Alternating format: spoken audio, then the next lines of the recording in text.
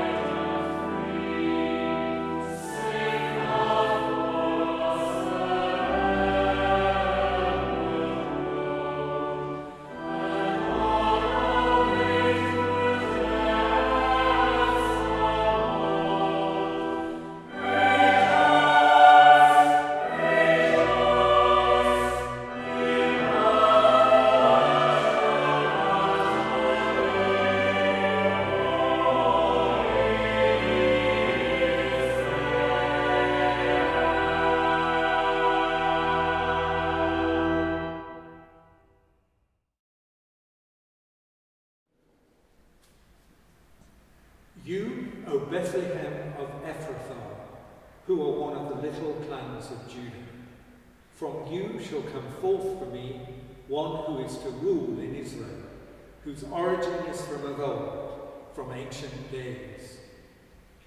Therefore he shall give them up until the time when she who is in labour has brought forth. Then the rest of his kindred shall return to the people of Israel. And he shall stand and feed his flock in the strength of the Lord, in the majesty of the name of the Lord his God. And they shall live secure, for now he shall be great to the ends of the earth, and he shall be the one of peace. Thanks be to God.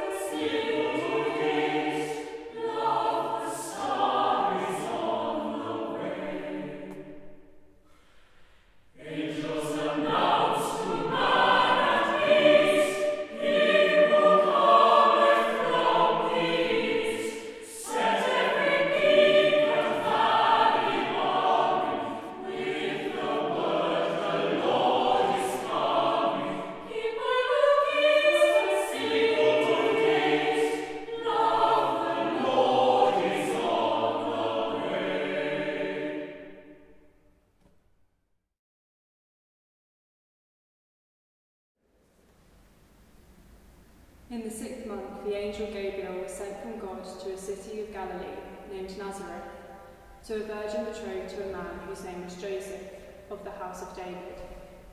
And the virgin's name was Mary. And he came to her and said, Hail, O favoured one, the Lord is with you. But she was greatly troubled at the saying, and considered in her mind what sort of greeting this might be. And the angel said to her, Do not be afraid, Mary, for you have found favour with God. And behold, you will conceive in your womb and bear a son, and you shall call his name Jesus. He will be great, and will be called the Son of the Most High, and the Lord God will give to him the throne of his father David, and he will reign over the house of Jacob forever, and of his kingdom there will be no end. And Mary said to the angel, How shall this be, since I have no husband?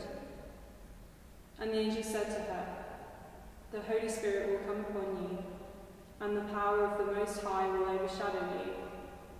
Therefore, the child to be born will be called Holy, the Son of God. And behold, your kinswoman Elizabeth, in her old age, has also conceived a son. And this is the sixth month with her, who was called barren. For with God, nothing will be impossible. And Mary said, Behold, I am the handmaid of the Lord. Let it be to me according to your word. And the angel departed from her. Thanks be to God.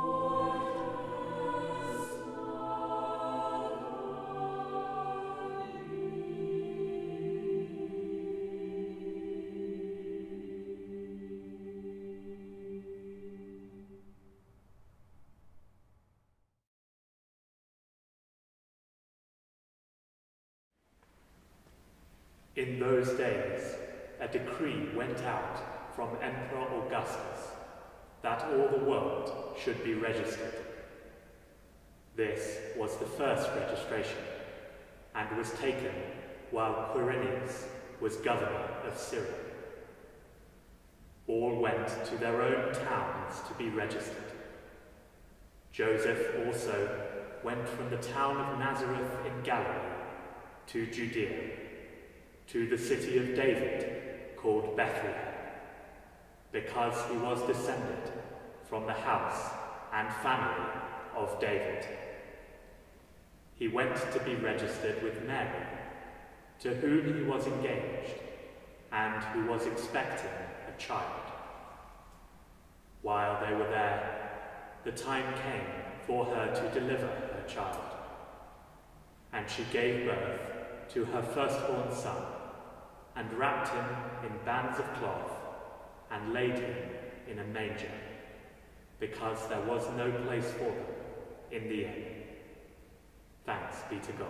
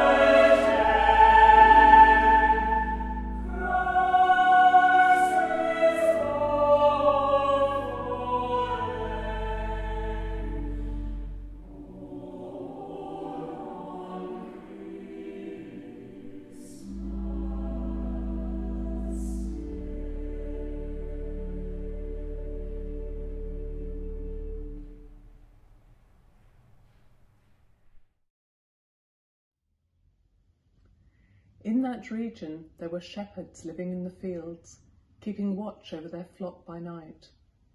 Then an angel of the Lord stood before them, and the glory of the Lord shone around them, and they were terrified. But the angel said to them, Do not be afraid, for see, I am bringing you good news of great joy for all the people. To you is born this day in the city of David a Saviour who is the Messiah, the Lord. This will be a sign for you. You will find a child wrapped in bands of cloth and lying in a manger. And suddenly there was with the angel a multitude of the heavenly host, praising God and saying, Glory to God in the highest heaven, and on earth peace among those whom he favours. When the angels had left them and gone into heaven, the shepherds said to one another, let us go now to Bethlehem and see this thing that has taken place, which the Lord has made known to us. So they went with haste and found Mary and Joseph and the child lying in the manger. When they saw this, they made known what had been told them about this child, and all who heard it were amazed at what the shepherds told them. But Mary treasured these words and pondered them in her heart.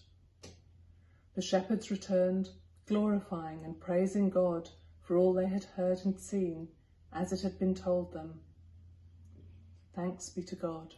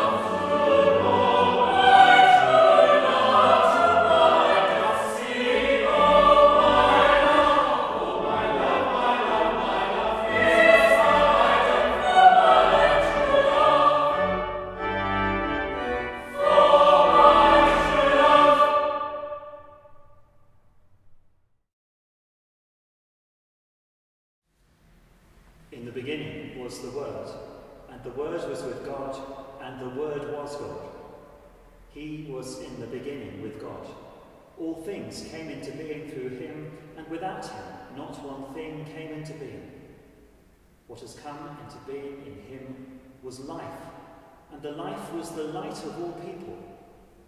The light shines in the darkness, and the darkness did not overcome it. There was a man sent from God whose name was John. He came as a witness to testify to the light so that all might believe through him. He himself was not the light, but he came to testify to the light. The true light, which enlightens everyone, was coming into the world. He was in the world, and the world came into being through him, yet the world did not know him. He came to what was his own, and his own people did not accept him.